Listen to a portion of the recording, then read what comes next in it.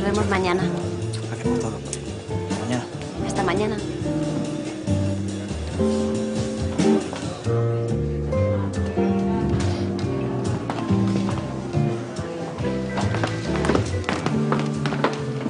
¿Bueno qué? ¿Qué? ¿Lo habéis conseguido o no? Pues... A picar el anzuelo. El plan ha sido todo un éxito. Qué bien. Bueno, en realidad era mi plan, pero bueno. Bueno. ¿Qué- ¿Qué más da de quién fuera el Claro, si claro, lo importante sí. es que funcione? Bueno, ¿y cómo lo habéis conseguido?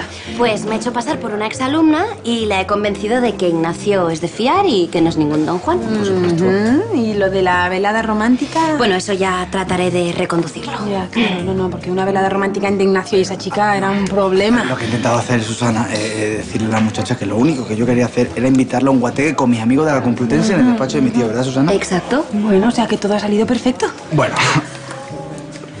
Perfecto, perfecto. A ver, Paula está dispuesta a hablar, pero el problema es que hay que montar una fiesta para mañana.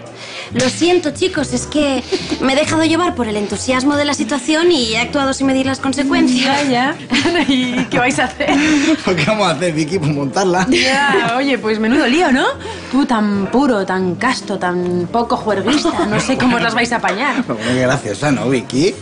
No, en serio, aunque sea un asunto relacionado con la revista y con el bufete, pues... No sé yo si mi tío si se entera le va a hacer mucha gracia, ¿eh? Ya. Bueno, tú no te preocupes porque Susana y yo solo no te vamos a dejar, así que...